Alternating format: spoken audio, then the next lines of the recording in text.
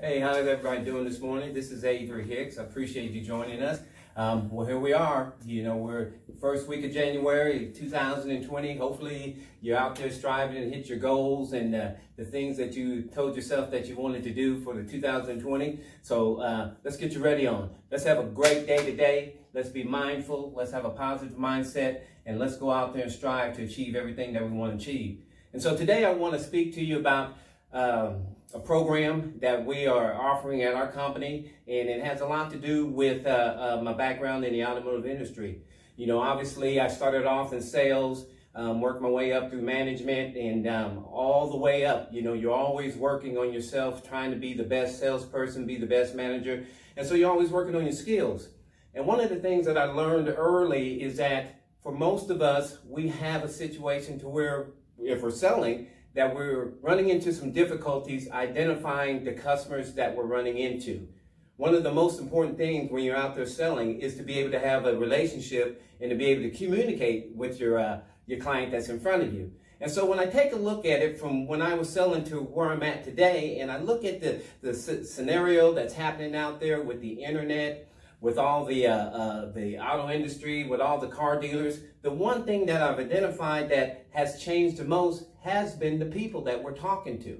Because when I take a look at it here, and I take a look at the board here when we, I have these uh, processes down, most salespeople have a process that they have to do, whether it be at a dealership, insurance, it doesn't matter. There's going to be a sales process that you follow. And this was a sales process that I followed back in the day where we had a meet and greet. We did a CNA, which is customer needs analysis. We did demo rides, test rides, uh, service walk, trial closes, write up the offer, uh, close the deal, uh, deliver it to the business office, um, then deliver the vehicle, then obviously follow up on people, and then have customer satisfaction index filling out surveys. So that's still relevant today. But the difference I see today than when it was when I was selling is that there's one more component that we need to add. Because if I was able to show you a skill as a salesperson one, that would allow you to increase your ratio, your closing ratio. Two, allow you to be able to communicate better with your coworkers and your managers. Uh, three, be able to enhance your career and your life, your personal relationships. You'd probably be interested in that because the most important thing to a salesperson, obviously, is getting better at the skills. But the one skill that I think that we're missing that's not on here is what's called people skills. Understanding people that's coming out to purchase a vehicle or purchase anything at this particular time. See, one of the skills that we need to address is who am I speaking to? How do I adapt to this individual that's in front of me? Why am I not closing, why am I only closing 25% of the people instead of 50% or 75% or even 100%? Well, it has to do with a lot of about the people that's coming in and that you're speaking with. And so today, what I want to do is kind of talk to you a little bit about what's called the DISC assessment. And the DISC assessment allows you to be able to figure out what your strengths and weaknesses are.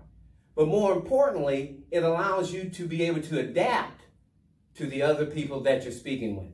Because when you look at what's called the DISC assessment, and basically what it is, D stands for dominance, I stands for influence, S stands for steadiness, and C stands for compliance. Most generally, all of us are going to fall into one of these categories. We're going to be able to identify the customer that we feel most comfortable with. And that particular customer is a customer that for some reason we always seem to sell. We have a great time. It doesn't seem like we're rushing, doesn't seem like we're pressuring anything. It just goes naturally. And that's the deal. That's the kind of how we want to sell. But three of these other individuals that we're meeting, we seem to run into some issues. We seem, it doesn't seem to go the way we thought it would go. Either they felt rushed or they felt that we weren't talking to them correctly. And so the most important thing is to identify what your strengths and weaknesses is and then which one of these categories you match up to. Now for myself, I'll, I'll just be honest. I'm, I'm an S. I'm an high S. I, I'm, I'm steadiness. I, I have a pace to myself. Uh, I, I don't like to get rushed. You know, um, kind of like a, a social butterfly. You know, I'm going to always want to communicate and have a conversation with you. And so when I'm sitting there and I'm talking to possibly an individual that's a D who's dominant and who's very direct, and he wants me to go get this and do that and do this and not have a communication style, I seem to butt heads with that individual. I, I didn't feel comfortable with him, and he didn't feel comfortable with me. And nine times out of 10, I probably didn't sell that individual. But I learned something because once I was able to identify Mr. D or Mr. I or Mr. C, once I was able to identify them, then I was able to adapt my communication style to help me identify who I was speaking to. And once I was able to identify who I had in front of me, I was able to adapt my sales pitch. I was able to take the language that I used and made sure it was the language that they wanted to hear. And all of a sudden, I went from selling 25% up to getting closer to 70%. And that's where you want to be if you're trying to be great. See, because we're going to sell 25%. We're going to sell to the people that we master up to.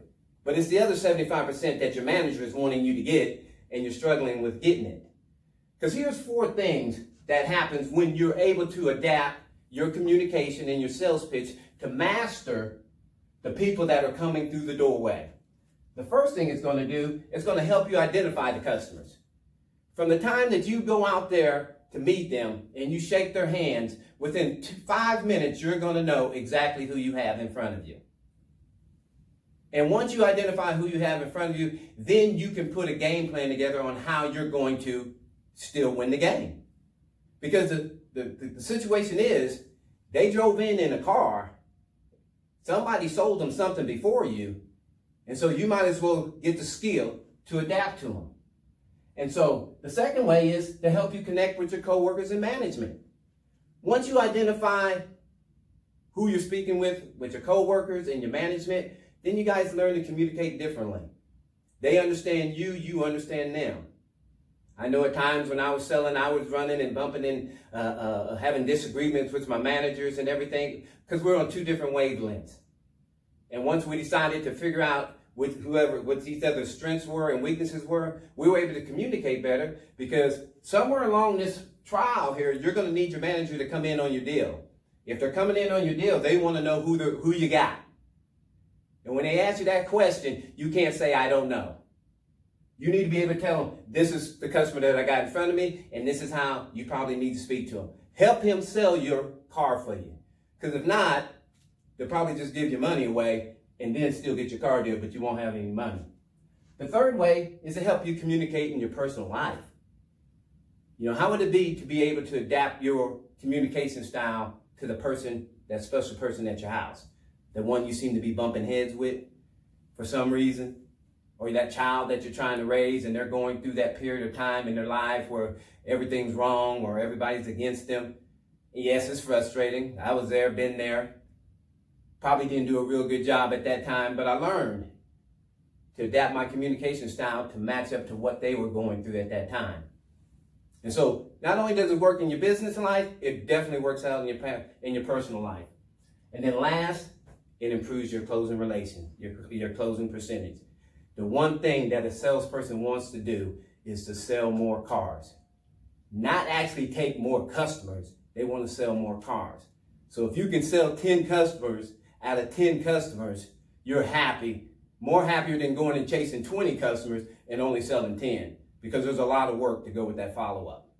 And so as you can see, the advantages of understanding people, don't get me wrong, all these processes here are definitely needed. But the one process that's needed more today with the customers having all the internet information, knowing exactly what they want, when they come in, there's two things they're looking for. They're looking for a salesperson that's going to communicate with them on their level, and then they're looking to see if you actually have the vehicle that you told them that you have. And so what you want to be able to do is understand that your skill level makes you more valuable to you, makes you more valuable to your customer, and it's going to make you more valuable to your organization because they're going to see you rise up to the top. Because it's 2020 and everybody's trying to be great. You got to get you ready on right now. And so for this training, what I need you to do is to go to averyhicks.com or you can text me at 405-295-4022.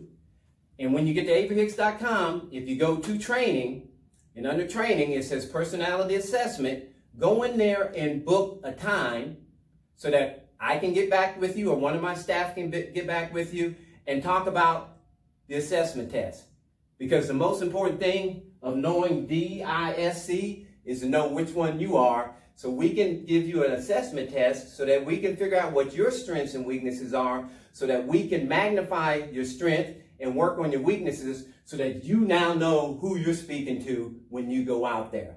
So once again, go to averyhicks.com, go to training, schedule a time. One of the staff will call you back, talk to you about the assessment test, tell you what the next steps are so that we can move the needle and enjoy 2020. If you want to text me, once again, it's 405-295-4022. The most important thing, gang, is that I want everybody to know it's, 2000, it's 2020 and it's time to get you ready on. Let's go.